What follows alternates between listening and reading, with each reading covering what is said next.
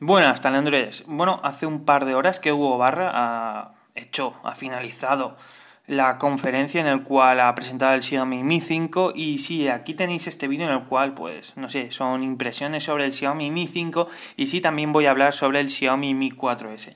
De fondo pues bueno, tendréis parte de la conferencia ya que la he editado, era una conferencia, una presentación de una hora y 40 minutos, muy interesante, hay que decirlo, porque Hugo Barra tiene un estilo así muy que le echa pasión y, no sé, un estilo muy fresco, eh, explica muy bien las cosas y no se mete en detalles técnicos, lo cual, pues, oye, hace una conferencia bastante agradable y entendible para todo el mundo.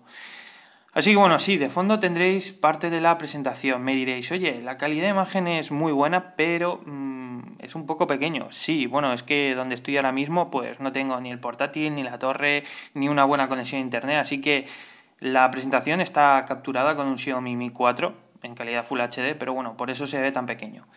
Así que, mm, de fondo lo dicho, tendréis parte de la presentación. Vamos a ver las prestaciones técnicas del Xiaomi Mi 5 y luego hablaremos sobre el Xiaomi Mi 4S. Vale, prestaciones técnicas del Xiaomi Mi 5. Cuenta con una pantalla con una resolución Full HD de 5,15 pulgadas. 5 pulgadas, 5,15. Básicamente lo que ha comentado Hugo Barra en la presentación es que aunque sean 5,15 pulgadas, da una apariencia de pantalla de 5 pulgadas. Gracias Xiaomi por no meterle una pantalla de 5,5 pulgadas, en serio. En cuanto a dimensiones, pues tiene unas dimensiones de 144 x 55 x 69,20 x 7,25 milímetros de grosor, lo cual es un terminal muy muy fino. En cuanto al peso, pues tan solo pesa 129 gramos. En su interior alberga una batería de 3.000 mAh y también cuenta con el Snapdragon 820. Tal vez digáis, oye, una batería de 3.000 mAh se va a quedar un poco justa. Sí, es lo que yo también he pensado.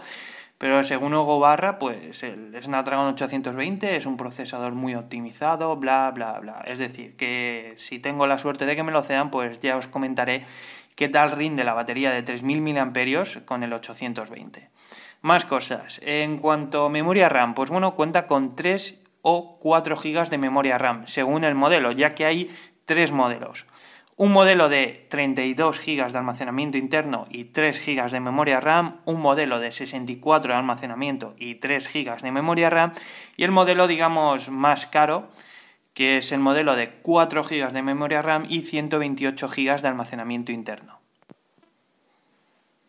Así que sí, bien hecho Xiaomi y, en fin, no haber sacado un modelo de 16 GB que era lo que muchos pedíamos, como mínimo 32 GB, que es el estándar y yo creo que está bastante bien, porque 16 GB, seamos sinceros, al final se te quedan un poco justos. También depende del tipo de usuario que seas.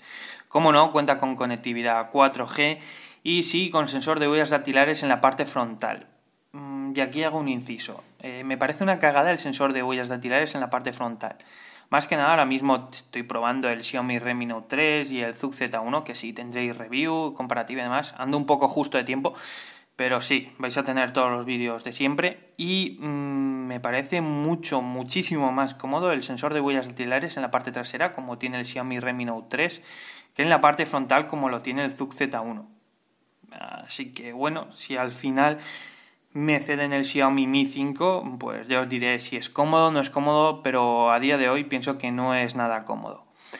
En cuanto a la cámara, pues bueno, la cámara principal es una cámara de 16 megapíxeles firmada por Sony. Bien, eh, no han hecho experimentos y no han querido usar ningún sensor de Samsung ni nada parecido, así que sí, es un sensor Sony, el IMX298. Eh, pues bueno, 16 megapíxeles, graba en calidad 4K.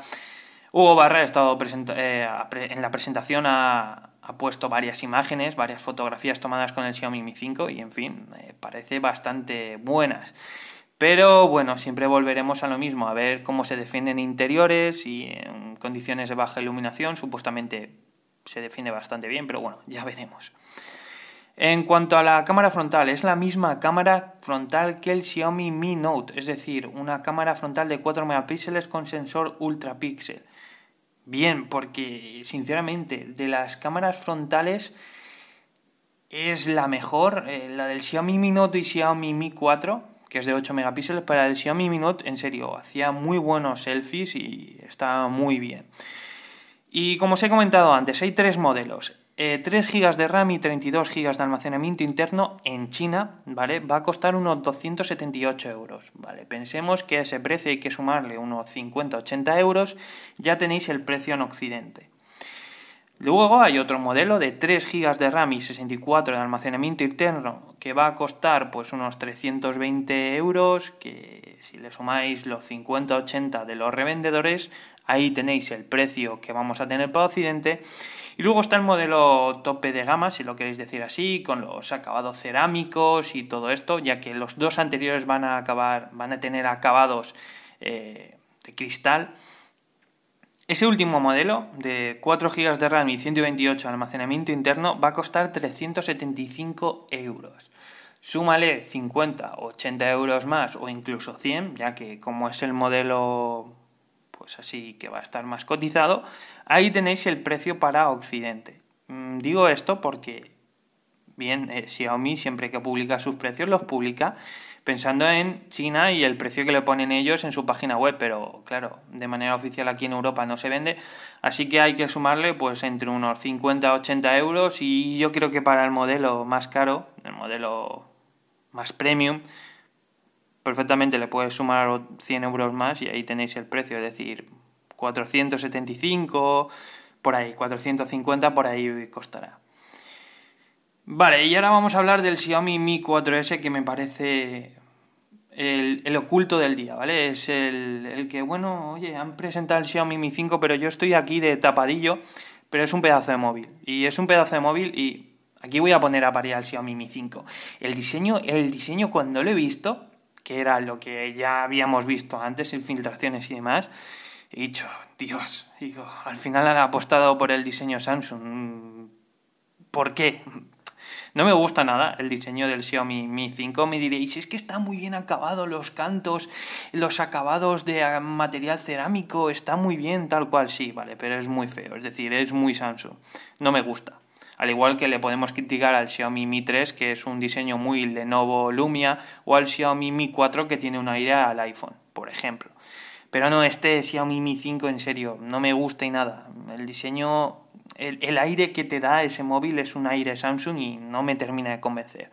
Pero el Mi 4S sí, sí que me gusta el diseño del Mi 4S, mm, pero también es una cagada este Mi 4S, porque los que tienen el Mi 4C están diciendo, joder, hace 3-4 meses que me compré el Mi 4C y han sacado este Xiaomi Mi 4S con mejores prestaciones y, mm, joder, han, han, hecho lo mismo que con el Xiaomi Redmi Note 2 y con el Xiaomi Redmi Note 3.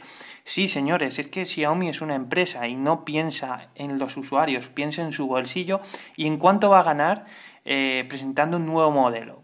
Eh, seamos sinceros, el soporte, las actualizaciones y demás, a Xiaomi no le da dinero. Le da a lo mejor un respeto, un nombre en la comunidad, pero nada más. Vale, y voy a dejarle de meterle palos a Xiaomi, porque si no después me decís que soy un hater y todo eso. Xiaomi Mi 4S, prestaciones técnicas. Tiene una pantalla de 5 pulgadas con resolución Full HD, unas dimensiones de 139,26 x 70,76 x 7,8 milímetros de grosor, un peso de 133 gramos.